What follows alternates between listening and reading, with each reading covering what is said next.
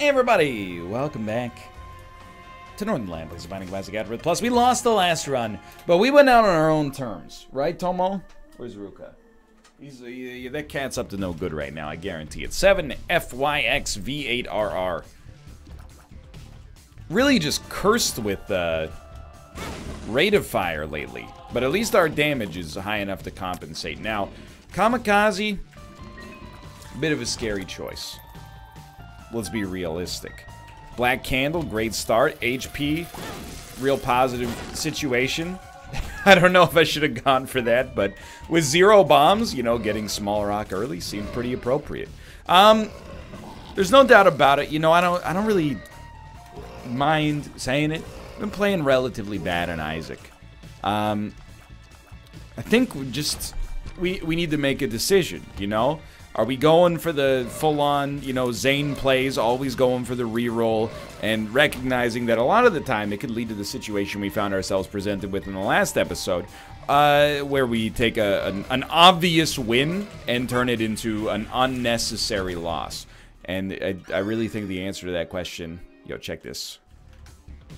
Genius.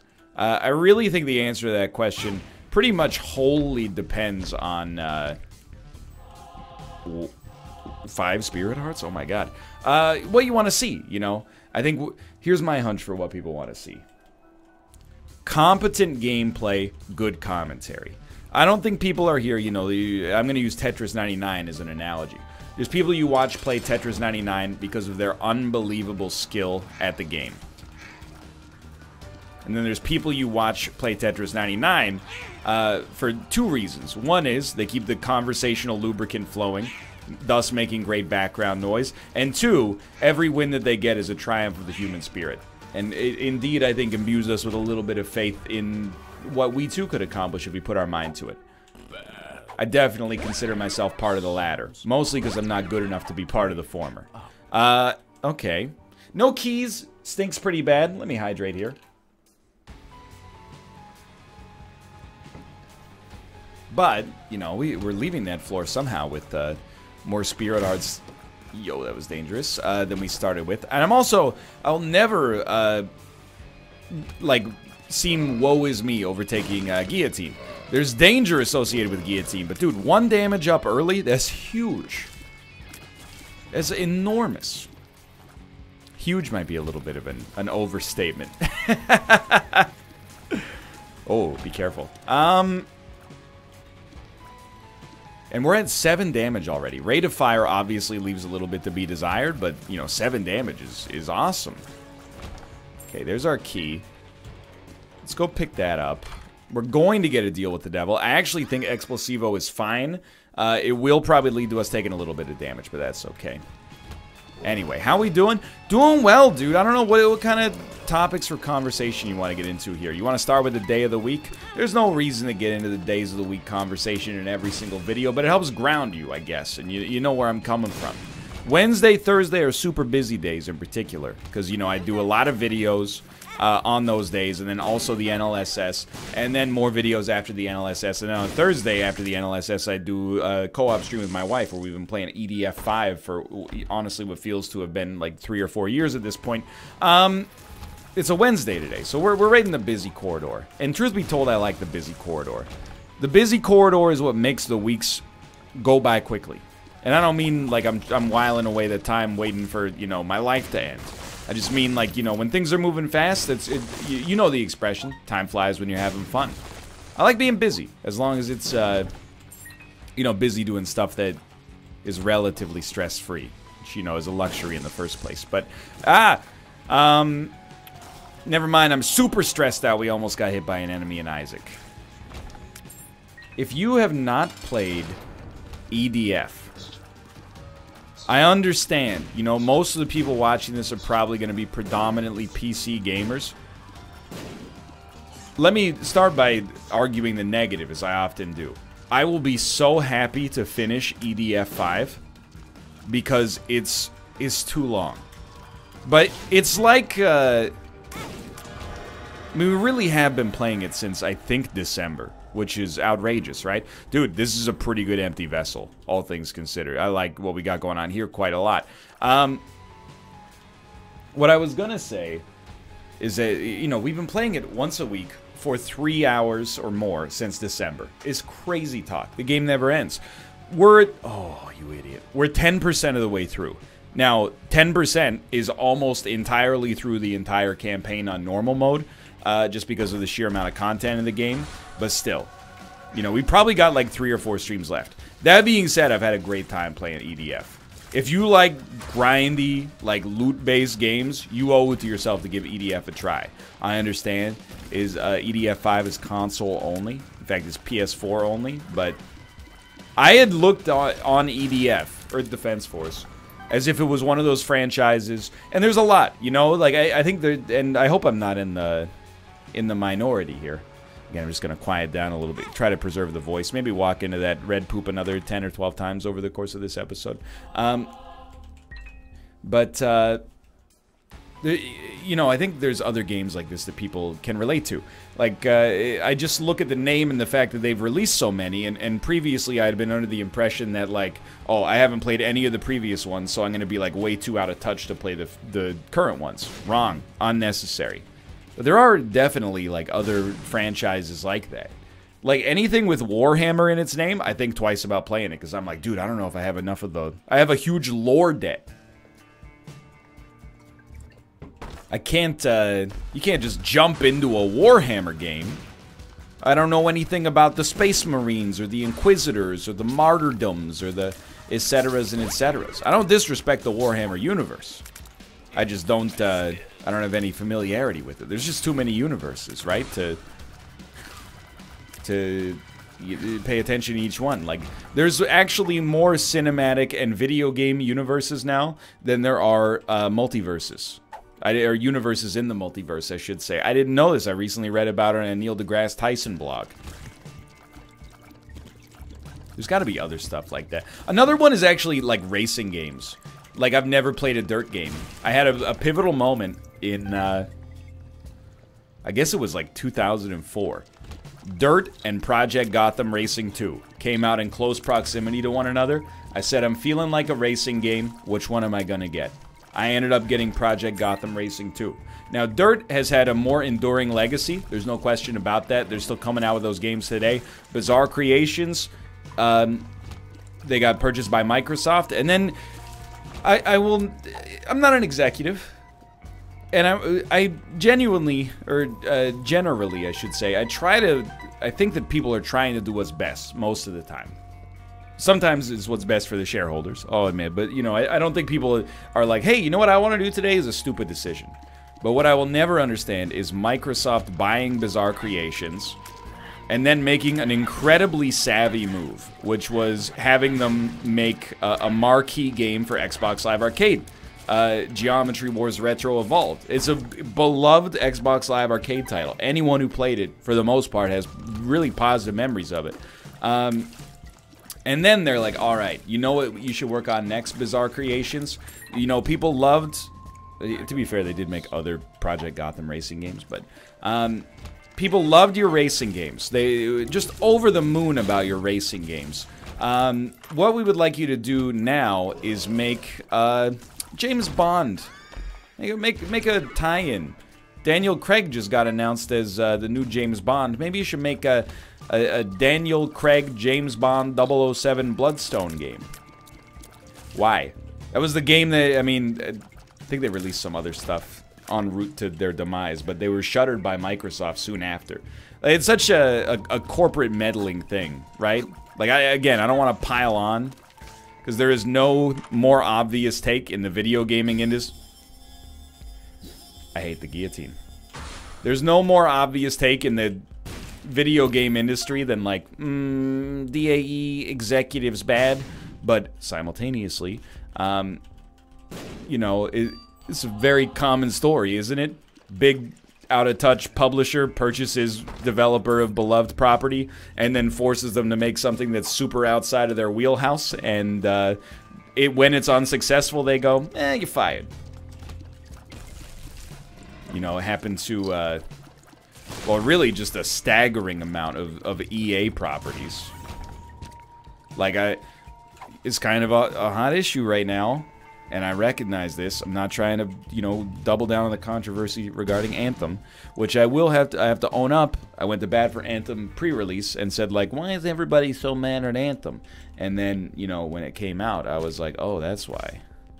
So I'll, I'll own that. Don't get me wrong. But um, you know, hey, we purchased BioWare. Um, you know, everybody they love those sprawling story-based RPGs you're doing. Here's what we're gonna do. Um, looter shooter. Mind you, BioWare, you know, this is kind of an unfair comparison because they did also make uh, Dragon Age Inquisition, which I will go to bat for. I played through the entire game, and I think that's like an 8 or 9 out of 10. I really like Dragon Age Inquisition. They made Mass Effect on Andromeda, which was uh, reviled is probably not the right word, but not necessarily well liked and, and a bit of a PR storm upon release. But uh, I, I think the long tail of that game, at least from what I can glean from Twitter, aka the, my most trusted news source, people that played it tend to be relatively positive on it. It's just unfortunate uh, that as a result of the circumstances of its release and the you know bugged facial animations being so viral and shareable, all conversations about Mass Effect Andromeda now get filtered through uh, the lens of not it's good or it's bad, but it was done a disservice on release or this is a piece of garbage. You know, the the story has become the uh, the way that the release happened instead of the quality of the game itself. And that's, you know, really not many people's fault but their own. But still. Um, anyway, where am I going with this? I don't know. I, back in the day, I picked PGR2. And I'm not salty about it. PGR2 is a fantastic game. Probably my most played original Xbox game, and I, I wish Bizarre Creations hadn't uh, been, been ripped from us so soon as a result of what I would perceive as corporate meddling. Simultaneously, more power to the people who cashed out and probably got paid. You know, you deserve it. PGR2 classic game. Um, anyway. You know where I'm getting at this.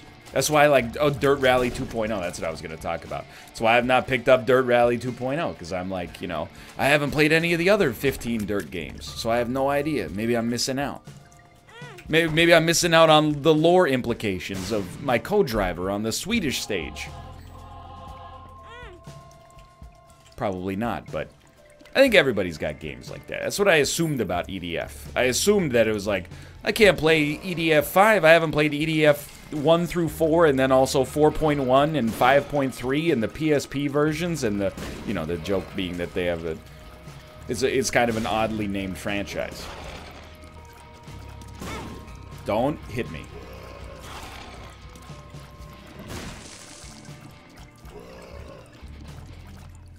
But I'm going to be glad when that game's over. Don't get me wrong, I enjoy playing it.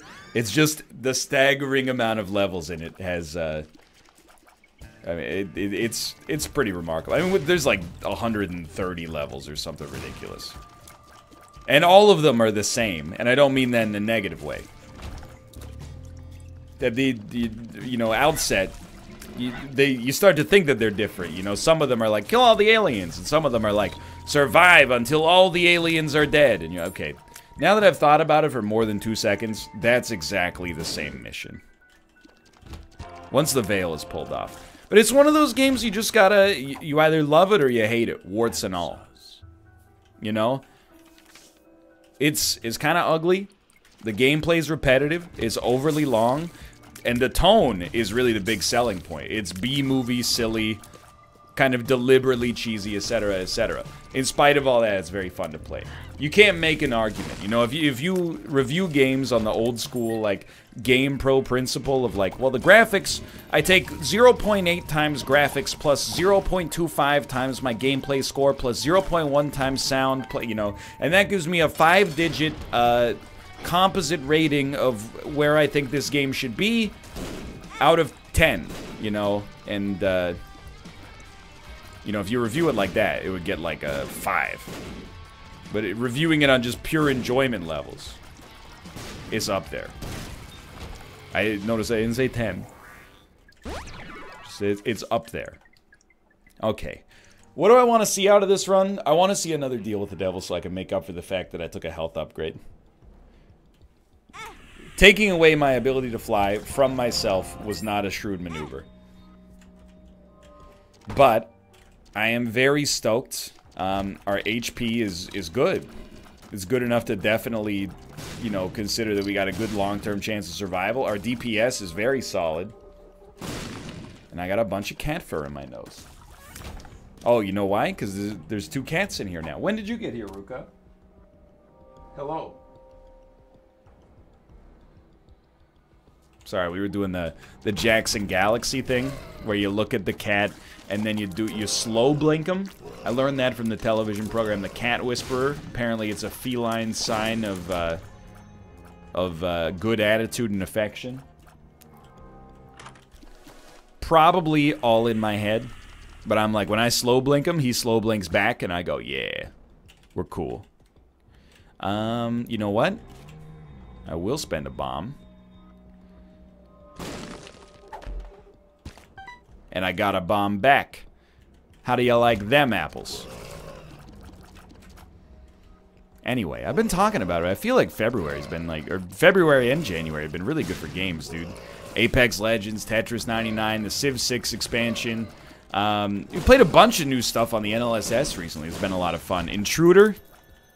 Intruder is one of those games that's like it's like an idea we would have come up with on the show, but actually executed, you know? It's like when I think of games that have like, there haven't been that many recently. But there, you ever have that game where you're just like, the idea for this game is so positive, like it's so cool, I have to play it immediately? I'll give you an example, and then I'll talk a little bit about Intruder. One game that hit me like that in a huge way was Spy Party. I don't remember where I came across it. It's like an old probably like a Kotaku post or something like that in like 2009. I think I'd rather have Dice Shard, I guess. Um, and I was sold on the game from the concept instantly. You know, an asymmetrical multiplayer game. One person, it, it's basically people playing two different games simultaneously that that link up to to accomplish stuff, or or to compete, I guess. But like one person is uh, trying to accomplish some objectives at a party as they're trying to accomplish the objectives, like, you know, purloin a letter or, you know, place a bug on the ambassador, you know, standard spy mission stuff, they, uh, uh, they're trying to blend in and not reveal to the people watching that they're not an AI-controlled player. They're basically trying to fail the Turing test. Um, Meanwhile, somebody's watching, and their goal is to figure out who at the party is actually completing the missions. And there's even before you get into the the greater like you know the positive design in Spy Party, which really, for my money, is like one of the most interestingly designed games of the last 10 years. Um, if not, you know, ever. I don't know. 10 years seems kind of like an arbitrary number. It's not like I'm thinking, well, in 2009 something came out that pushed it out of my list, but prior to that, you know, no, it's not really like that. But, um, you know, I, the first time I heard about it, I was like, I gotta play this. Like, I emailed uh, Chris Hecker, the developer, and was like, you know, how do I get in on this? We'll definitely take divorce papers here. Now, I haven't played as much Spy Party as I like, um, but it, it has held up. Yes.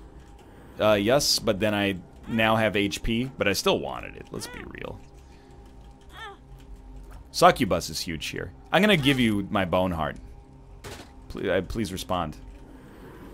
Spun? Not quite. Worth it for the damage, but still. Alright, we'll, we'll probably have a shot at boss rush, too. This is a pretty strong run now. Uh, another example uh, was a, a, game that Jason Rohrer made. You might know him from uh, Probably his most famous game uh, recently is One Hour, One Life. That one went kind of pseudo-viral. Um, he's made a lot of games, yo.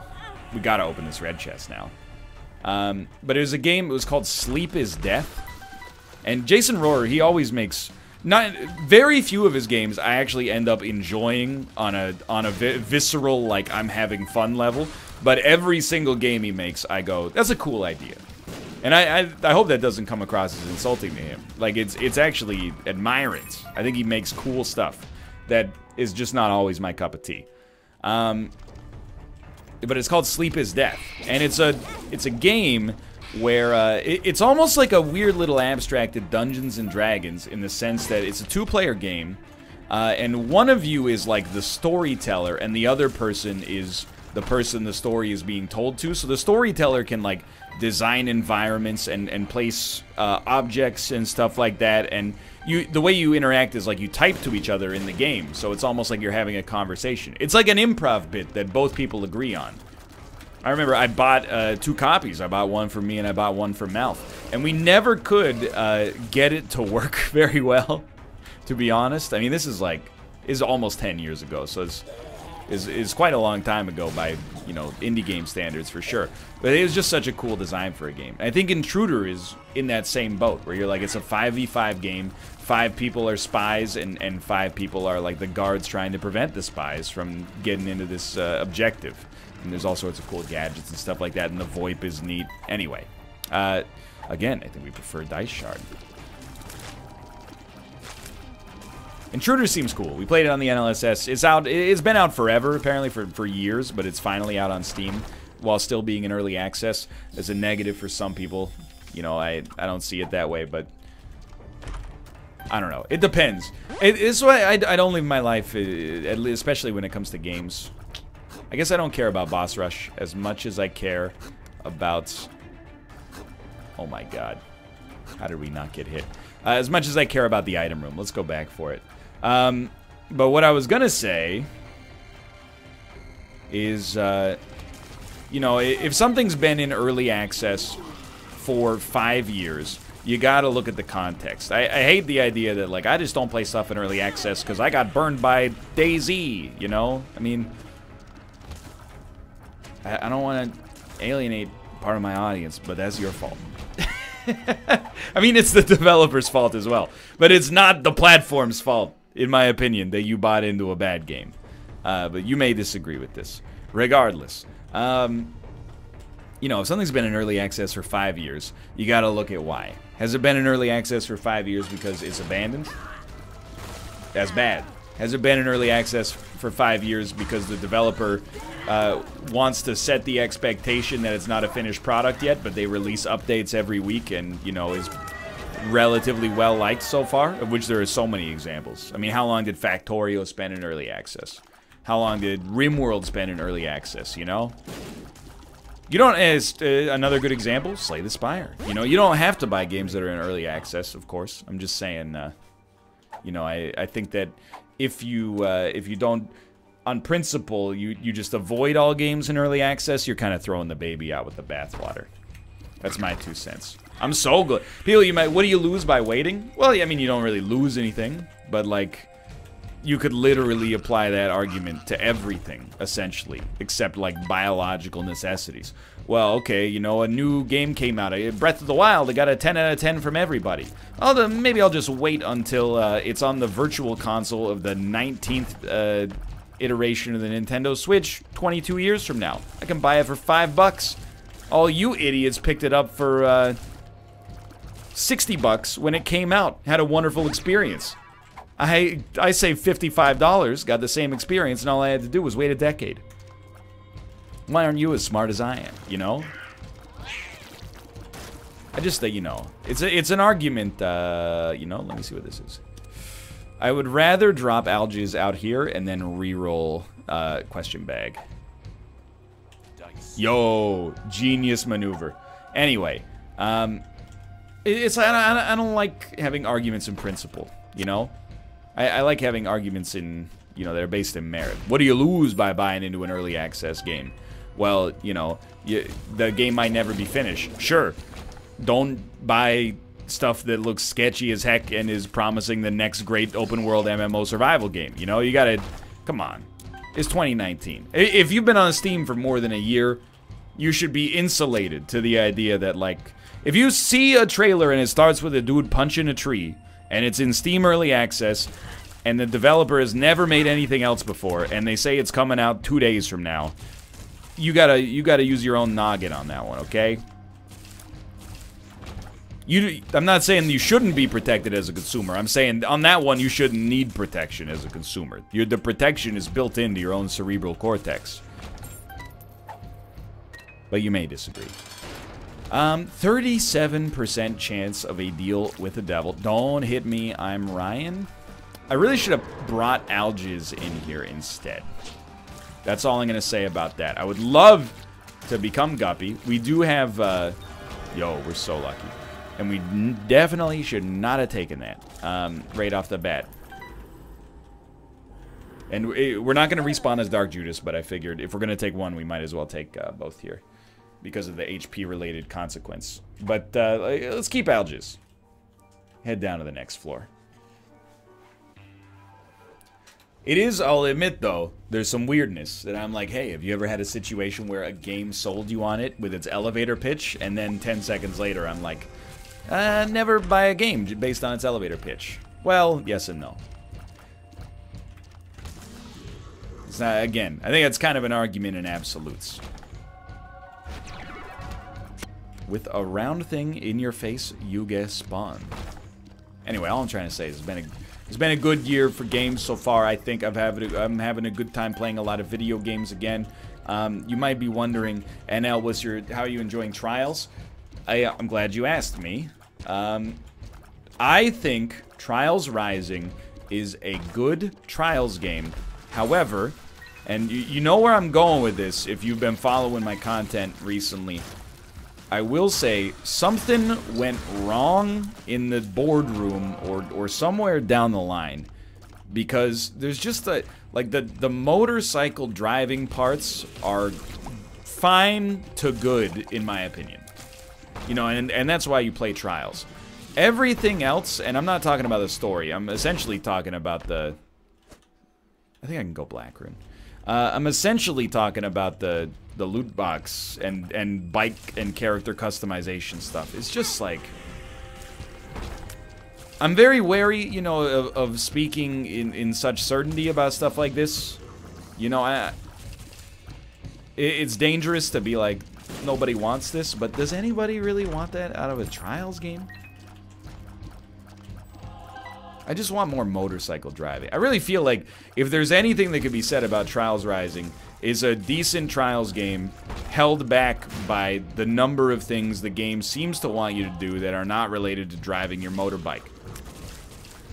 Still think it's good though, but I'll tell you, a, a little disappointing. I, I think it's got a 0% chance of making it into like my informal list of the top 20 games of 2019.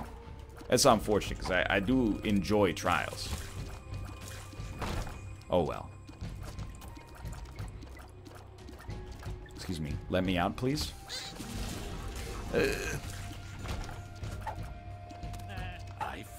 I'm also stoked to see, and I don't know if I'll actually play it, but I'm stoked to see that Devil May Cry 5 has had such a good reception.